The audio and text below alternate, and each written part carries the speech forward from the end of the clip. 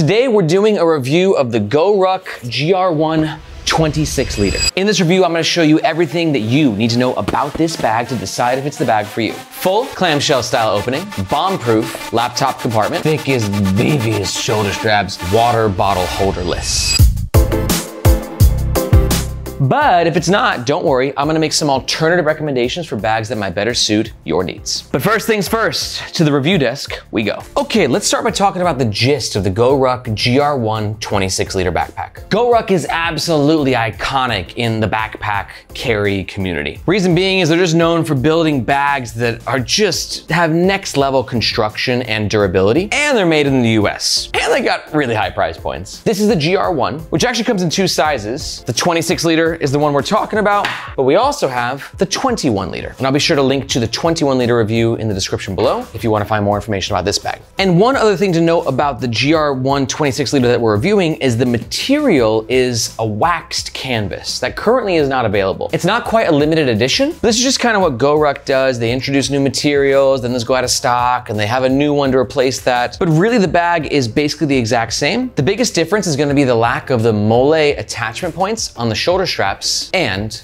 on the front, which in my opinion, I love this. I much prefer this cleaner look. Some of the bag's top features, a diagonal quick access pocket in the front, full clamshell style opening, a bit of organization in the main compartment, a self-advertised bomb-proof laptop compartment, craziest, thickest, beefiest shoulder straps mine eyes have ever seen. And I got a lot to say about these guys couple chapters from now. As of recording, the GR126 liter comes in five different colors slash fabric options, but like I said, those are constantly being revolved. But what should stay consistent is the size. The dimensions are around 20 inches height, 13 and a half inches width, and a depth of around five inches. 26 liters is an interesting size. For my needs, it's way too big for everyday carry. But for some people, I, I, I, read every comment ever made on this channel, and some people need 24, 25, 26 liters for everyday carry. But for me, 26 liters is definitely a great size for weekend trips. But due to the weight and, and bulkiness of this thing, I don't know if I'd use it as a travel bag. We'll talk about that more a bit in a few chapters. Now, GoRuck advertises the 26 liter to weigh 3.1 pounds, but I have a sneaking suspicion the waxed canvas canvas version is gonna be heavier. So if you're considering the waxed canvas version, it does weigh 3.8 pounds, which for a 26 liter, that's heavy. 3.1 is definitely preferable. This is the bag when it's empty, and this is the bag when it's fully packed out on the streets of Hong Kong. For reference, I'm five foot eight, and our media manager Margaret is five foot two. And don't worry, I'm gonna pack this bag out throughout the entire review so you can see exactly what it fits. As for a warranty, GoRuck's got one of the best warranties in the game. It's called like their scars for life guarantee. And basically it just means it doesn't matter what happens to the bag or whose fault it is, just send it to GoRuck and they'll repair it or send you a new one. And that warranty is huge because it kind of helps to rationalize the very expensive price point, which is a, a, a whopping 400 US dollars. Putting that into context, it's made in the USA. It's incredibly well put together and that warranty is like really impressive. And if at any point in this review, you agree with me, you're like, Aaron, 400, that's a deal. I would have paid double. GoRuck, what idiots. They should have charged 800 for that bag. Score. And if you're gonna make a purchase, we do ask that you do so using the first link in the description below. Reason being, that link makes sure that you get the best price and we oftentimes have discount codes. And that link also helps to support the Nomads Nation channel and team so we can keep making the best freaking bag reviews on the web. Thank you very much. All right, let's talk about the front of the GoRuck GR1 26 liter. First up, let's talk about patches because I'm really into the bag carry community. There's like a divide between patch people and non-patch people. And if you're a part of the patch people, if that's your tribe, then you're gonna love GoRuck because you got this little, you know, hairy square right here, and that's just ideal to throw a patch.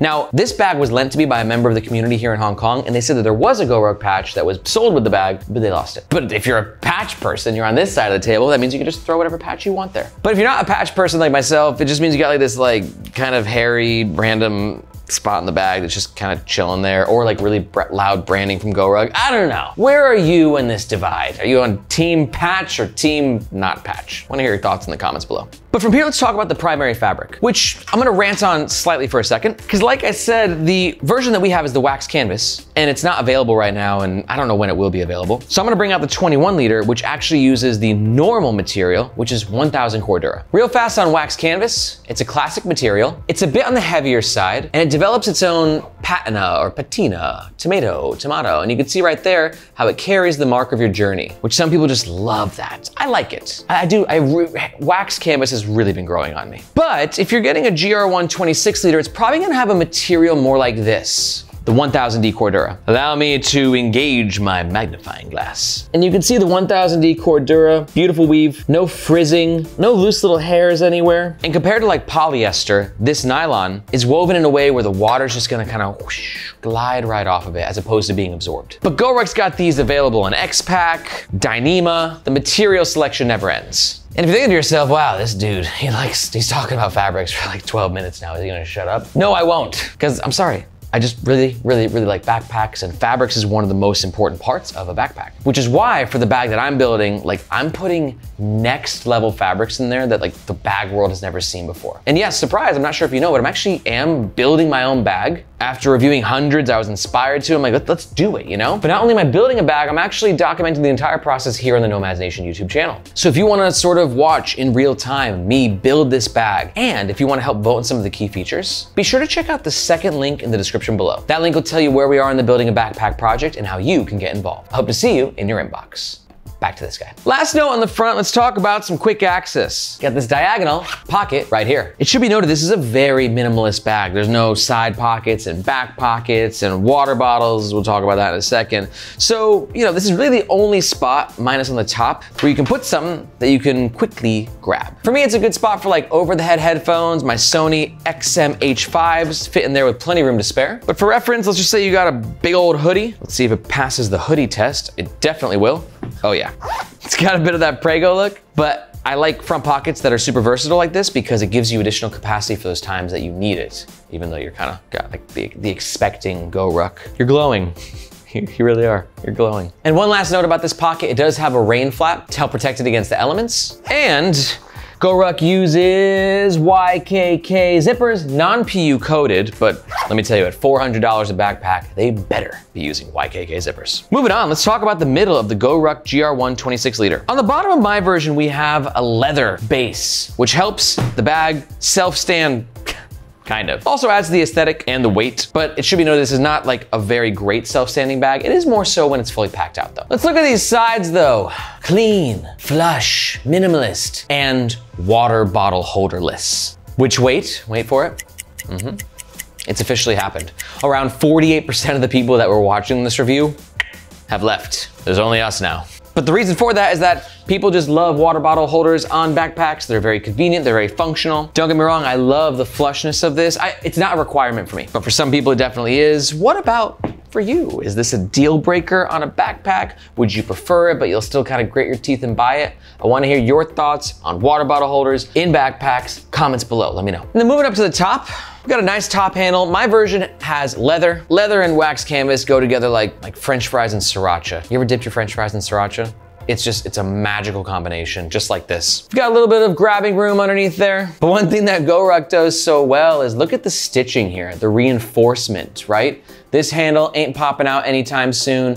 This is a part of GoRuck's brand. It's just like, God, this bag is going to last longer than you probably will. Let's get into the main compartment. On par with like that tactical manliness, we got these chunky number 10 YKK zippers that get you into the main compartment. The zipper pullers themselves have a plastic end and a knot. Overall, it all works really well. And you can see we're in. Let's start on the flap side. You got one, two pockets. Mesh pocket at the bottom, non-elastic mesh, but feels really durable. Like, yeah, that's, that's, that's some strong mesh right there. And then a concealed top pocket. For me, I'm gonna throw a small B7 size notebook. It's passport sized and some AirPods in the top. And then for a bit more organization, I'm gonna throw my umbrella in the mesh pocket, packable tote from Day Owl.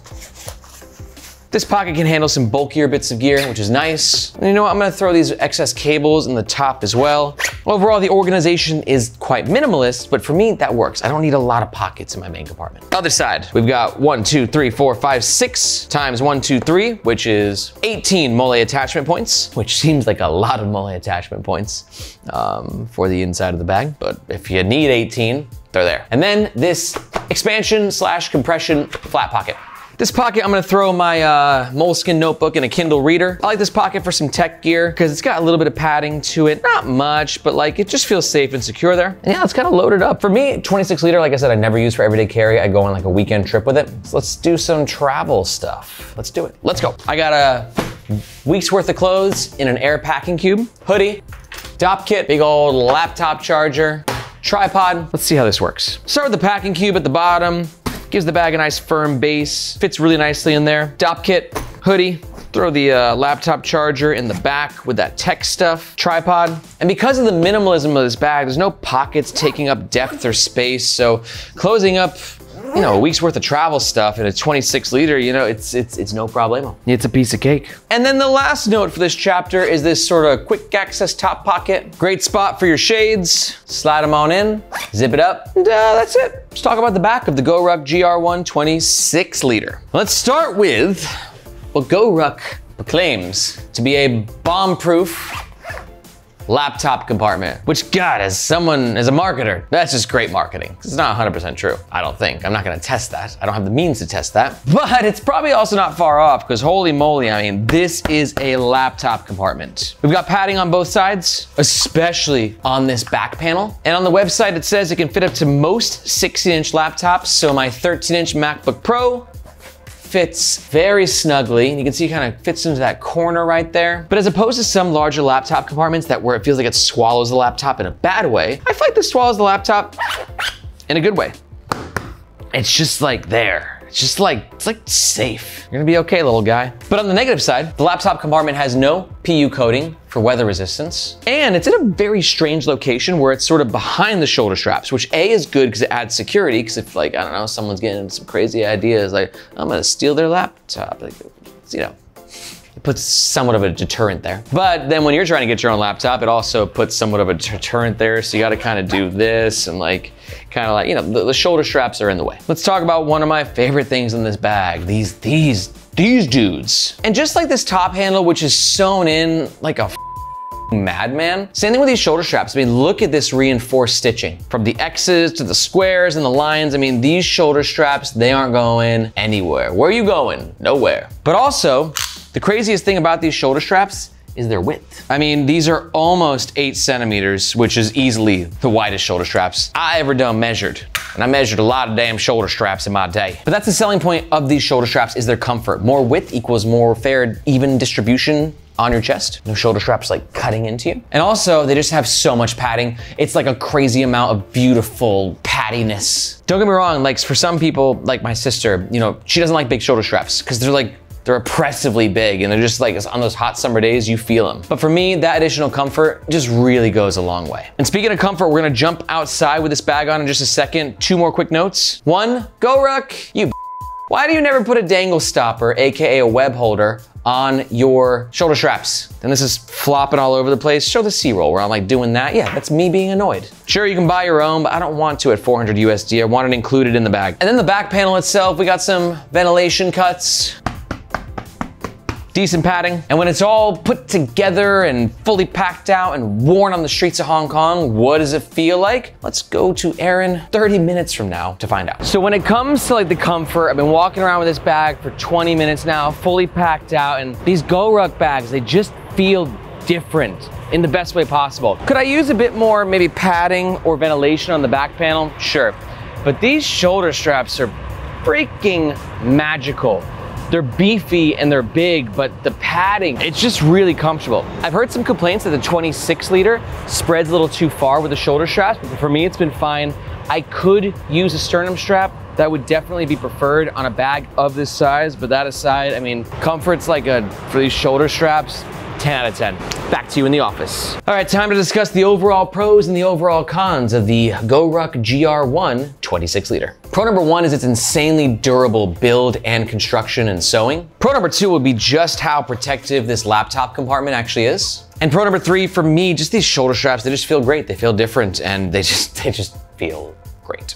But don't you worry, I ain't no GoRuck fanboy. I don't know where my southern accent came from, but I'm, I'm, I'm, I'm going with it. I'm over caffeinated, I'm sorry. Con number one is gonna be a lack of any PU coated zippers, especially on the back laptop compartment. Con number two is the lack of water bottle holders. Why did I do that? And con number three is this waxed canvas version uh, is quite heavy. But if you're still here, there's a good chance that you're like, I don't need the water bottle holders. I don't need it to be light. I don't need PU coated zippers. I just need that bag right now. And you're gonna make a purchase. Just a reminder that we do ask that you do so with the first link in the description. It's the best price for you. It helps to support our YouTube channel.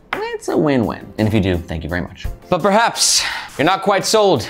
You want those alternative recommendations that I promised? So the backpack rack we go. All right, so let's say the GR1 26 liters not working out for you. You're not quite sure. You wanna test the waters a little bit. Alternative recommendation number one is going to be the GoRuck GR1 21 liter. This is for you if you're like, dude, I love the GoRuck GR1, but the 26 liter seems a bit big. The 21 liter, basically the same thing, just a smaller version. And to learn more about this bag, simply check the description below and you'll find a link to our full review. Alternative recommendation number two is going to be the King Kong Core Backpack. This is a good alternative for you if you kind of that GoRuck tactical aesthetic, but you don't want to pay the GoRuck tactical price. King Kong's got a similar vibe, but like half the price. It's a great bag. And to learn more about it, take a look at the description below and you'll find a link to our full review. And alternative recommendation number three is going to be this guy right over here, which is the Built for Athletes backpack. Great option for you if you wanted the GoRuck bag to be like a gym bag, but it's not quite gymmy enough for you. It's, very minimalist, right? The Built for Athletes backpack, it's a monster gym bag, tons of gym features. This brand has been exploding recently. And to find out why, just watch this video right here, where I'll break down everything you need to know about this bag. If you have any questions about any backpacks in the world, let me know in the comments below. I personally respond to every single one myself. Thank you so much for watching. My name's Aaron. This is Nomads Nation, and we'll catch you next time.